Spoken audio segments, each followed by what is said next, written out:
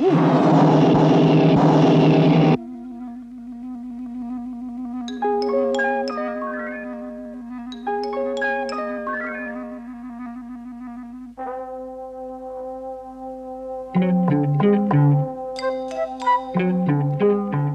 Herr Präsident, ich bitte Sie, Sie können doch wirklich nicht behaupten, ich hätte in meiner Leistung nachgelassen. Sehen Sie nur.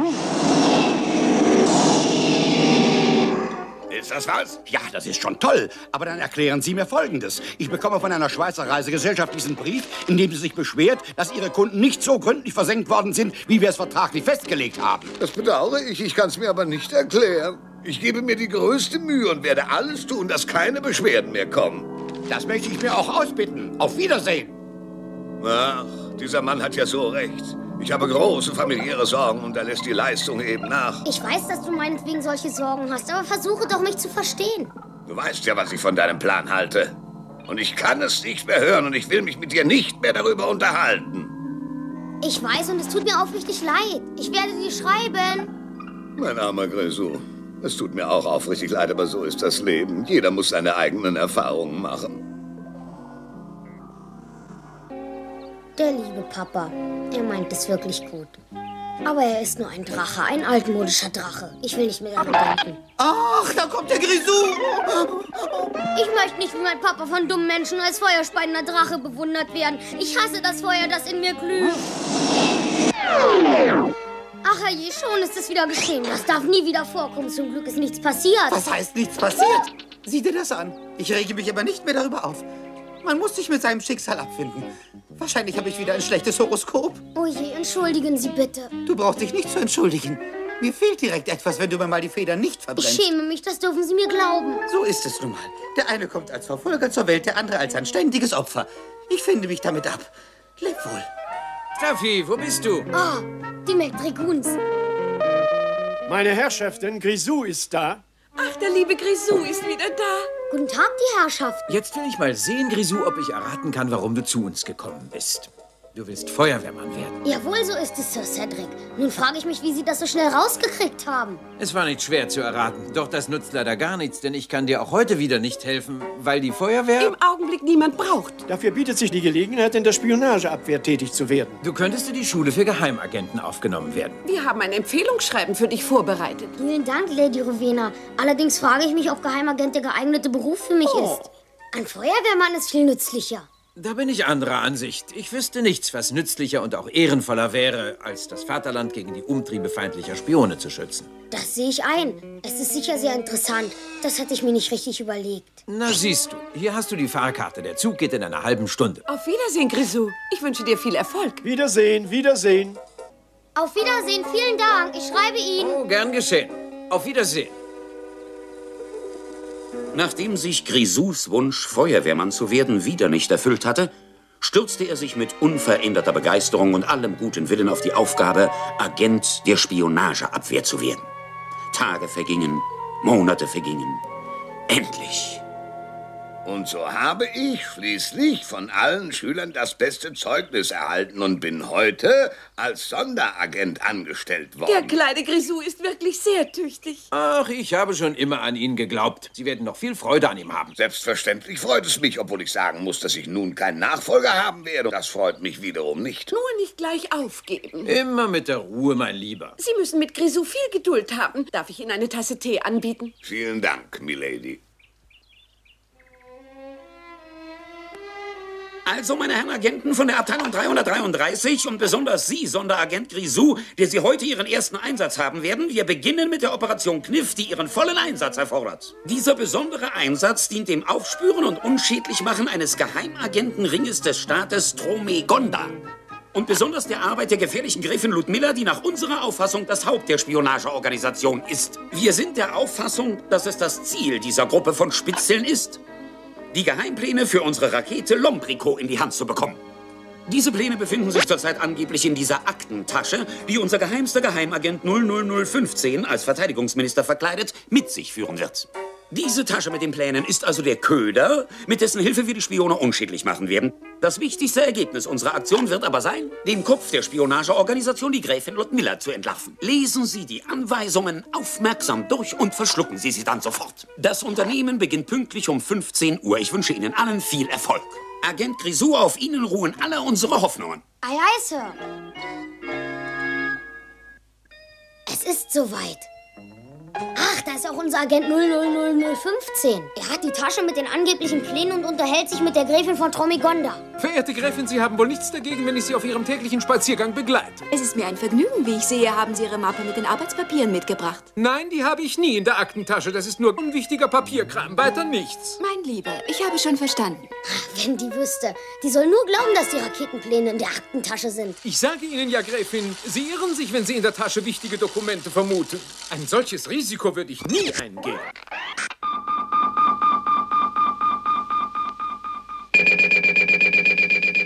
Aha, unsere Superagentin meldet uns gerade die ersten Erfolge ihrer wichtigsten Mitarbeiter. Das sind Agentin K22 und Agent Z23. Hurra, Sie haben die Geheimpläne erwischt. Wow, wow, wow.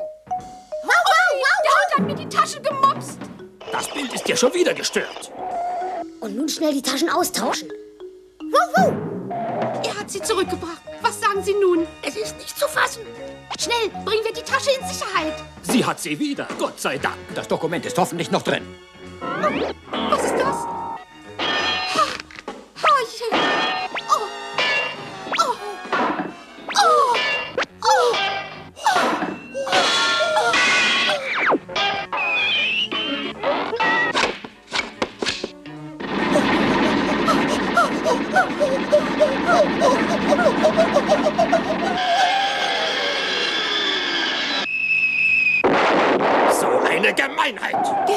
Merkwürdige Hund Ihnen? Ja, und Sie können sich nicht vorstellen, wie anhänglich mein Hund ist. Ach, das ist ja ein Chinese, der gehört nicht zu uns. Nein, das ist ein Agent aus Kaimakan.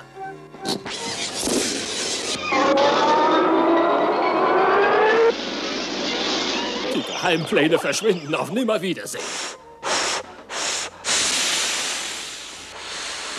Nanu, was ist denn da passiert? Es könnte sein, dass eine Düse verstopft war. Oh, Exzellenz, sehen Sie nur. Unser Agent X62. Verschwinde!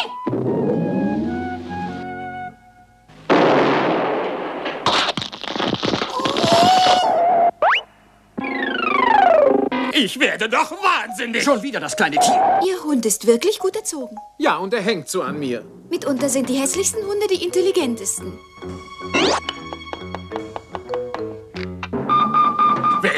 Das nun wieder? Allerdings. Ein Spion aus Katapotzia. Verflixt! Ach, das ist ja unser Agent Z102.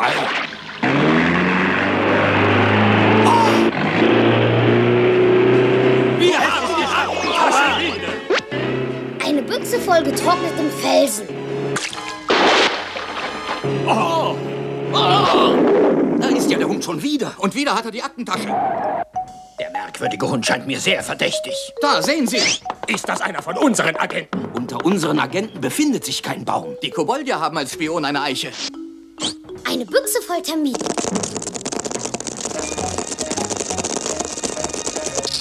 Ach, das ist ja unser tapferer Militärattaché in voller Aktion.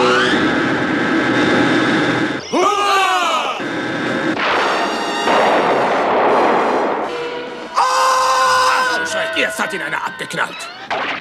Leben Sie wohl, verehrte Gräfin. Auf Wiedersehen. Kriege ich das? Selbstverständlich, wer sonst? Nanu, ein Hund, der reden kann. Welcher Agent könnte das sein? Es ist vielleicht äh, der Ministerpräsident, der uns kontrollieren kommt. Ich werde die Gräfin anrufen, bevor wir noch größere Schwierigkeiten kriegen. Achtung, Achtung, Ludmilla, es droht uns höchste Gefahr. Der Hund ist der Ministerpräsident, der uns kontrollieren will. Es ist ein harter Kampf gewesen, aber wir haben es geschafft. Hätten Sie wohl Feuer für mich? Habe ich recht verstanden? Sie wollen Feuer? Ja, bitte. Ich möchte Feuer für die Zigarette. Frau Gräfin, wenn Sie unbedingt wollen. Ich fürchte nur, ich bin ein wenig aus der Übung gekommen. Aus der Übung? Herr Ministerpräsident sind zu Scherzen aufgelegt. Das ist zu viel. Das ist ja viel zu viel gewesen.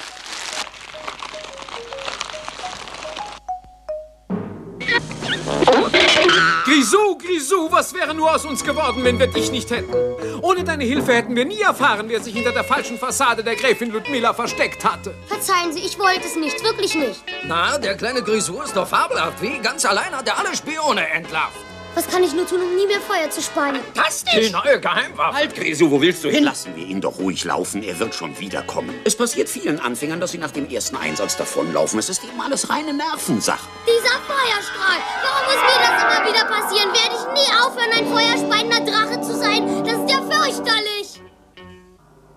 Na, was habe ich dir schon so oft gesagt, mein Sohn? Es wird dir niemals gelingen, gegen deine Natur anzukämpfen. Du bist nun mal ein Drache, Grisou, und du wirst immer ein Drache sein. Ich habe mich meines Drachendaseins nie geschämt. Sieh dir das an. Diese Besucher sind direkt aus Japan gekommen, um meine Vorführung zu bewundern. Ich komme, ich komme. Sie haben sich verspätet. Dadurch ist der Zeitplan etwas durcheinander geraten. Sie werden sofort bedient. Achtung!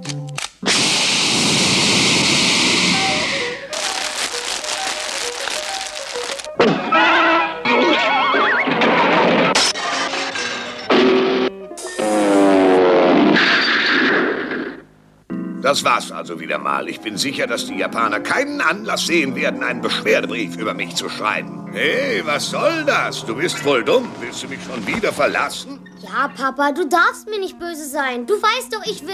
Ein Feuerwehrmann werden, ein Feuerwehrmann werden. Ich weiß, du willst ein Feuerwehrmann werden. Ich werde wahnsinnig, Fumel. Das kann doch nicht Ihr werter Ernst sein. Auf keinen Fall dürfen Sie ein Feuerwehrmann werden. Mein Gott, das hält ja kein Drache aus. Seien Sie unbesorgt, Herr Präsident. Mein Vater wird immer ein Drache bleiben. Sie haben das missverstanden. Ich, ich will ein Feuerwehrmann werden. Jawohl, ich werde Feuerwehrmann. Ich will ein richtiger Feuerwehrmann werden. Das ist leichter gesagt als getan. Aber wer wagt, der gewinnt. Auch wenn er nur ein kleiner Drache ist.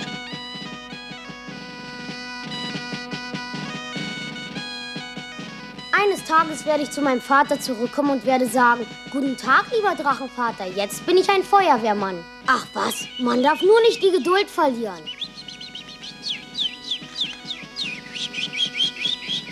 Diesmal muss ich es schaffen. Diesmal muss ich ein Feuerwehrmann werden. Die Hauptsache ist, dass mir nicht wieder ein Feuerstrahl entfährt.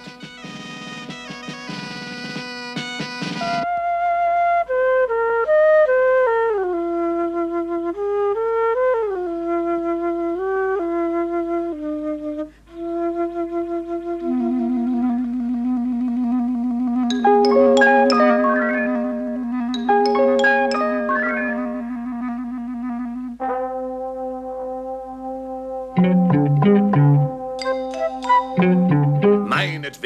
Werde Feuerwehrmann, werde Feuerwehrmann und bleibe kein Drache. Aber verschone mich in Zukunft damit, hast du verstanden, ja? Ich habe es satt, das immer wieder zu hören. Damit gehst du mir auf die Nerven. Papa, sei doch nicht gleich so aufgeregt. Du weißt doch, das ist mein größter Wunsch. Ich weiß nur, dass du eine schreckliche Nervensäge bist. Damit ist Schluss. Werde Feuerwehrmann, du sollst deinen Willen haben. Es ist sinnlos, mit dir vernünftig zu reden. Wiedersehen, Papa. Ich lasse gelegentlich von mir hören. Wiedersehen, Grisou.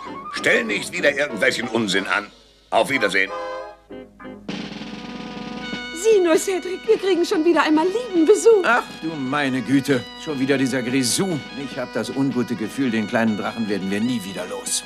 Meine Verehrung, Lady Rowena. Guten Tag, Sir Cedric. Störe ich? Wie kannst du nur so etwas sagen? Du würdest uns nie stören, kleiner Freund. Du solltest wissen, mein Lieber, dass du hier nicht störst. Vielen Dank, vielen Dank, Sir Cedric. Was ich dir sagen wollte, um deiner üblichen Frage zuvorzukommen, es hat keinen Sinn, dass du dir irgendwelche Hoffnungen machst. Im Augenblick können wir keinen Feuerwehrmann brauchen. Oh, wie schade. Ich hatte diesmal so besonders darauf gehofft. Lady Rowena, was könnte ich denn dann werden? Ich weiß einen sehr geeigneten Beruf für dich. Du könntest bei uns Hausdiener werden. Ist das auch so ein nützlicher Beruf wie Feuerwehrmann? Aber Grisou, wie kannst du das fragen? Der Hausdiener ist der gute Geist des Hauses. Er ist für das Wohlergehen und für die Gesundheit seiner Herrschaft verantwortlich. Tatsächlich? So hätte ich mir das nicht vorgestellt. Und ist es schwer zu erlernen? Ivo, für so einen intelligenten Jungen wie du bestimmt nicht. Ganz sicher nicht? Mit welcher Arbeit soll ich anfangen? Zuerst bekommst du etwas Leichtes zu tun. Du siehst da einen Haufen welker Blätter. Den wirst du verbrennen. Selbstverständlich. Haben Sie zufällig Streichhölzer bei sich? Streichhölzer willst du haben? Es ist doch viel vernünftiger, wenn du deinen Feuerstrahl dafür benutzt. Das tue ich nicht, Sir. Ich habe geschworen von dem Feuer, das in meiner Brust lodert, nie wieder Gebrauch zu machen. Ich tadle dich nicht dafür. Im Gegenteil, würdest du die Flamme für einen schlechten Zweck verwenden, müsste ich das beanstanden. Aber bei einem guten Zweck verdienst du Anerkennung und Lob, Grisou. Also kurz gesagt, du musst dir immer eines überlegen, ist es sinnvoll, was ich tue, oder richte ich damit einen Schaden an? Ja, wenn man es so sieht, dann sollte ich doch. Du musst natürlich gut aufpassen, dass kein Feuer ausbricht. Das brauchen Sie nicht zu befürchten, Milady. Das ist dir hervorragend gelungen. Nun möchte ich dich auch noch bitten, den Haufen Gerümpel zu verbrennen. Das Gerümpel soll ich verbrennen? Womit verbrennen? Du Dummerchen, das fragst du noch?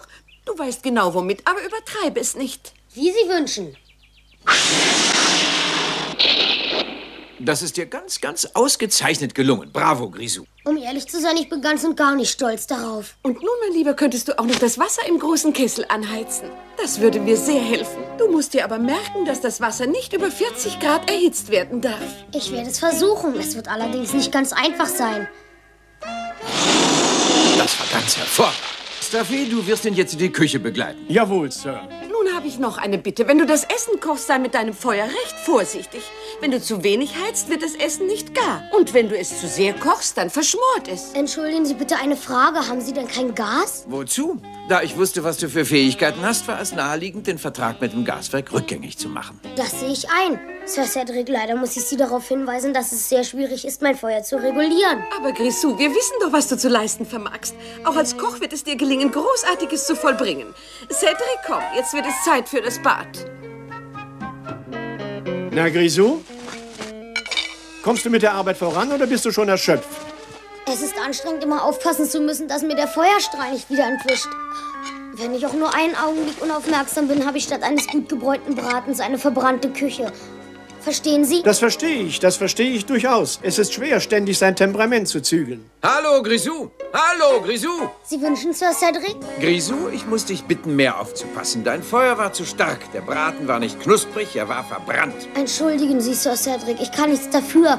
Während der Braten in der Röhre war, hatte ich plötzlich einen Hustenanfall. Dann versuche den Husten zu unterdrücken. Pass in Zukunft Ich auf. verspreche es, Milady. Und jetzt, Grisou, servierst du mir einen doppelten Whisky mit sehr viel Eis. Sofort, Sir. Ach, Staffy, haben Sie das gehört? So ein Hustenanfall lässt sich eben nicht immer unterdrücken. Du brauchst aber nicht traurig zu sein, Grisou. Ich habe viele Jahre gebraucht, bis ich das alles perfekt konnte. Auf Wiedersehen. Ach, ich werde es schon begreifen. Ach, die Eiswürfel sind festgefroren. Es muss doch eine Möglichkeit geben, die loszukriegen. Ich werde sie anhauchen. Vielleicht gehen sie dann ab.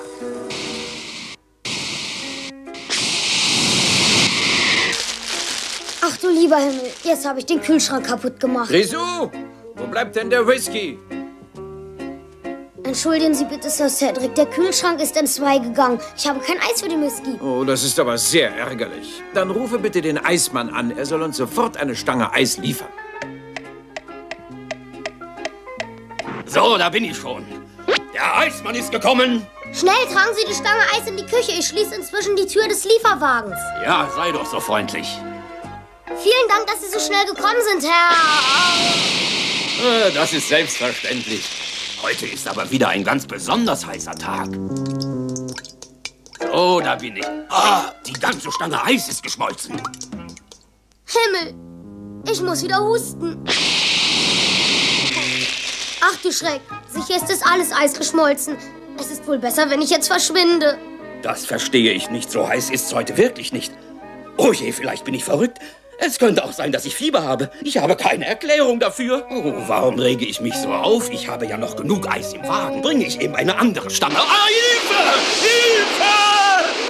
Ach du lieber Himmel. Anscheinend ist dein Wasserrohr geborsten. Warum stößt du hier herum und kümmerst dich nicht um uns? Wo bleibt mein Whisky?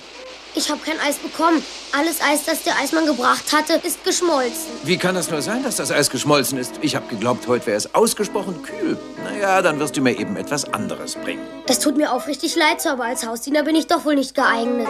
Es ist besser, Sie verzichten in Zukunft auf mich und schließen mit der Gasanstalt einen neuen Vertrag ab. Ich kann nichts dafür, mein Feuer lässt sich nicht regulieren. Es ist völlig unberechenbar. Und außerdem ist es gefährlich. Sie haben ja gesehen, dass mir sogar der Braten angebrannt ist. Das kann auch der besten Hausfrau passieren, Grisou.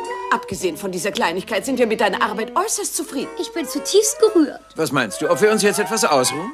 Grisou, es wird deine Aufgabe sein, dafür zu sorgen, dass uns niemand stört. Ich bin doch recht müde. Es soll sie keiner stören, Sir. Na, kannst du schon alles? Bis jetzt habe ich fast alles falsch gemacht. Ich sehe ein, dass das kein Beruf für mich ist. Ich hätte mich nicht darauf einlassen sollen, wäre ich lieber Feuerwehrmann geworden.